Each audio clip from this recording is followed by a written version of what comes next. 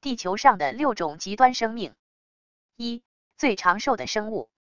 在地球的所有生命中，有一种东西是任何种类的生命都无法逃脱的，那就是死亡。地球上年龄最老的树是一棵绰号普罗米修斯的美国虎尾松，它在一九六四年倒下前，估计已有五千岁。在西伯利亚、加拿大冻土带和南极还生存着一些细菌，据科学家称。这些细菌的年龄大约有五十万年了。不过，地球上没有任何生物可以和不死水母相比。这种名叫灯塔水母的海洋生物具有返老还童的能力，可以说掌握着永生不死的奥秘。这种灯塔水母长约四到五毫米。通常情况下，水母繁殖完下一代后就会死亡，但灯塔水母性成熟之后却可以返老还童。重新回到幼虫状态，然后继续成长，开始另一次生命历程。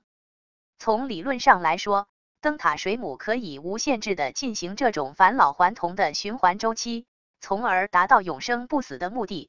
当然，它们首先得防止在海洋中被其他掠食动物吃掉。二、最庞大的生物，在地球上，也许没有比蓝鲸更大的动物了。成年蓝鲸长达三十米。体重可达一百九十吨。不过，尽管地球上没有任何动物大过蓝鲸，但仍有其他类型的生物体可以令蓝鲸相形见绌。地球最大的有机生物体是美国俄勒冈州马胡尔国家公园中一种绰号“巨型蘑菇”的蜜环菌，这个学名为奥氏蜜环菌的巨型真菌是在一九九八年被发现的，它占地九百六十五公顷。至少相当于一千三百五十个标准足球场。按照生长速率估计，这个巨型蘑菇的年龄应该为两千四百岁，但科学家猜测它的实际年龄可能高达八千六百五十岁，所以它也可能是地球上年龄最老的生物之一，可以称得上是太上老君。有这么大的面积，为什么这么晚才被发现？科学家一开始只是认为这是蘑菇群体。都是独立的，但研究发现这些只是菌丝，在树下生长，并不是独立的个体，而是来源于同一个母体。而目前地球上最大的植物，则是美国加利福尼亚红杉国家公园中一棵绰号谢尔曼将军的巨大美洲杉，它的树干体积约有一千五百立方米。地球上最高的树同样生长在美国加利福尼亚州。这棵绰号“亥伯龙神”的红杉高达一百一十五米。此前，地球上只有一棵已经枯倒的桉树的高度曾经超过它。那棵名叫罗宾逊的桉树，曾经长在澳大利亚维多利亚省的波波山。它在一八八九年被人发现时，高度达到一百四十三米。从理论上说，这几乎是树木成长的极限高度，因为再高的话，高处的树叶就很难通过毛细管作用从根部往上吸水了。三、最耐高压的生物，在海洋中，海水的深度越深，压力就会越大，生物也就越无法生存。像海象和抹香鲸这样的海洋哺乳动物，可以潜到超过一千米的海底深处。不过，这已经是它们的极限，再向下，海水压力已是大气压的几十倍。在那样的压力下，由于细胞膜受到挤压，海洋生物的神经和心脏肌肉都将无法正常工作。然而，令人难以置信的是，在海底一万米深处，世界最深的马里亚纳海沟，那儿常年只有永恒的黑暗，生存环境甚至比金星表面更恶劣。那儿的海水压力是地表大气压的一千多倍。许多科学家都认为那种地方不可能有生命存在。但那里确实存活着一些奇怪的鱼类和虾。为了能在深海的高压环境下生存，这些深海生物都具有更加柔韧的细胞膜，并且它们的饱和脂肪也被多种不饱和脂肪取代。此外，它们还能用一种三甲胺氧化物帮助它们的蛋白质折叠成正确的三维机构。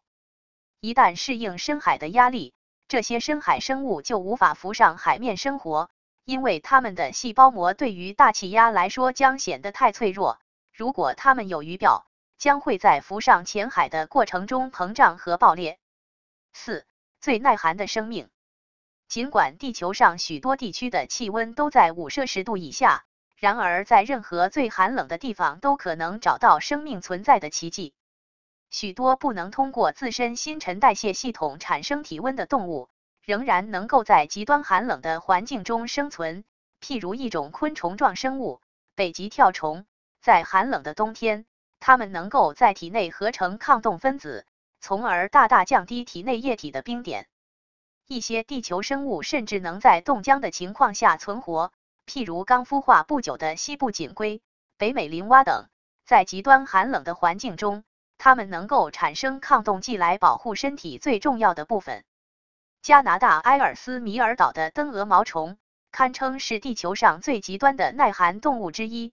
它能在零下七十摄氏度的低温状态下冬眠，即使它的血液和任何其他细胞外液体都处于结冰状态，它仍能存活下来。而南极线虫更加离谱，在极寒的环境中，它可以任由自身细胞的细胞浆结成冰。但却能让细胞核以及其他细胞器官处于非结冰状态，没人知道他们是如何成功做到这一点的。五、最耐热的生命。对于所有生物体来说，如果身体周围的温度抵达一个无法承受的极限，那么像 DNA 和蛋白质这样的复杂分子就会崩溃解体。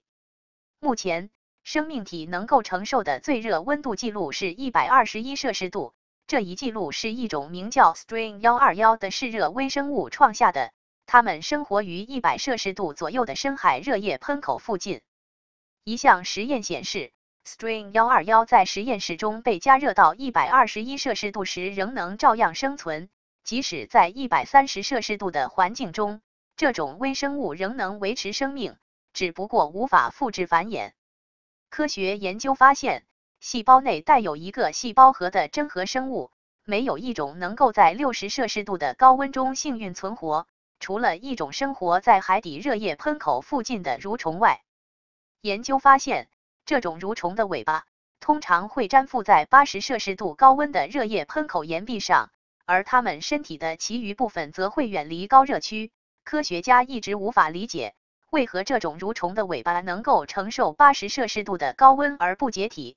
一种理论认为，它们的尾巴中含有一种在高温下也能处于稳定状态的胶原蛋白质。而陆地上最耐热的生物，当属一种名叫撒哈拉银蚁的蚂蚁。在酷热的沙漠上，它们的身体能忍受五十三摄氏度的高温，但只能坚持几分钟时间。六、最耐干旱的生物，许多动物都能忍受一段时间的干旱，但如果几十年都不喝一滴水，大多数动物都不可能存活下来，因为生物的所有细胞都需要水来作为化学反应的媒介，并使细胞膜保持完整无缺。对于大多数动物来说，没有水喝就意味着死亡。然而，令人难以置信的是，仍有几种生命可以在长时间缺水的情况下存活下来，其中包括一些节肢动物、轮虫及线虫类蠕虫等。一旦面临干旱，他们会将自己蜷成一个小球，然后等待雨季的到来。一种被称作水熊虫的小型无脊椎动物，堪称是地球上生命力最顽强的动物，在花园青苔中和高山上都能找到它们的踪迹。如果遭遇干旱，它们会将自己蜷起来，并关闭身体的所有新陈代谢系统，然后耐心等待环境改善。研究显示。水熊虫在没水喝的情况下，可以通过这种特殊手段存活一百二十年。